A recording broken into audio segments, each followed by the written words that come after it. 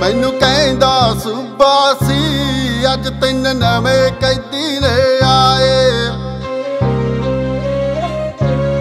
ਅੱਜ ਤਿੰਨ ਨਵੇਂ ਕੈਦੀ ਨੇ ਆਏ। ਜਦੋਂ ਦੇ ਫੜ ਕੇ ਲਿਆਂਦੇ ਨੇ, ਠੰਡੇ ਬੁਰਜ ਦੇ ਵਿੱਚ ਬਿਠਾਏ। ਠੰਡੇ ਬੁਰਜ ਦੇ ਵਿੱਚ ਬਿਠਾਏ। ਮੈਨੂੰ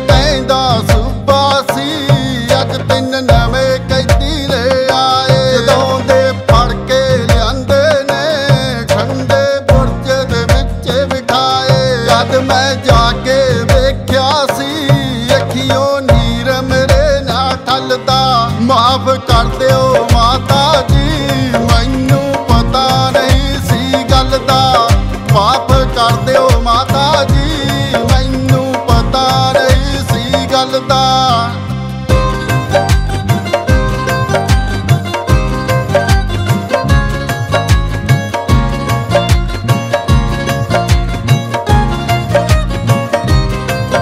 ਮਾਤਾ ਪੁੱਛਦੀ ਮੋਤੀ ਨੂੰ, ਪੁੱਤਰਾ ਕਿਉਂ ਨਹੀਂ ਖਾਣਾ ਖਾਂਦਾ? ਨੀਵੀਂ ਪਾ ਕੇ ਲੈ ਗਿਆ ਏ, ਅੱਖੀਓਂ ਨੀਰ ਤੇਰੇ ਕਿਉਂ ਜਾਂਦਾ?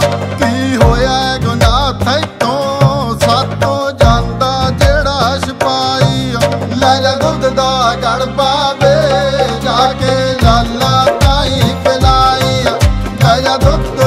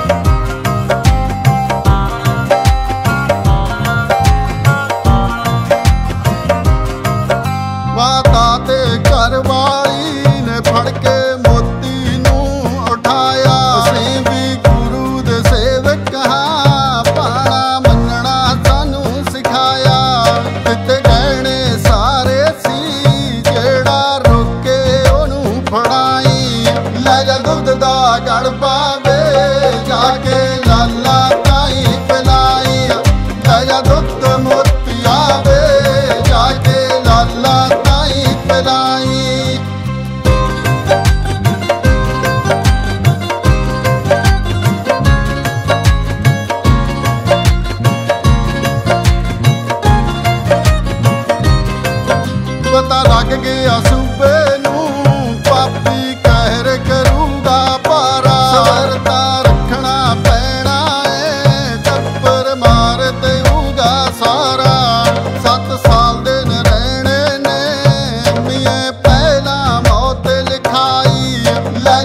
ਦਾ ਗੜ ਪਾਵੇ, ਜਾ ਕੇ ਲਾਲਾ ਤਾਈ ਪਿਲਾਈ ਲੈ ਜਾ ਮੋਤੀਆ ਵੇ ਜਾ ਕੇ ਲਾਲਾ ਤਾਈ ਪਿਲਾਈ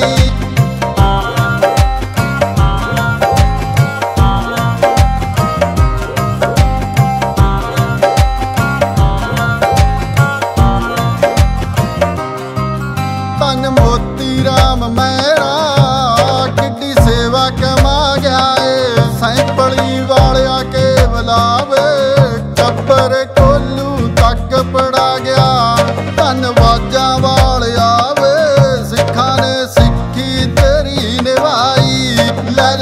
ਦਾ ਗੜ ਪਾਵੇ ਜਾ ਕੇ ਲਾਲਾ ਤਾਈ ਪਿਲਾਈ ਲੈ ਜਾ ਦੁੱਧ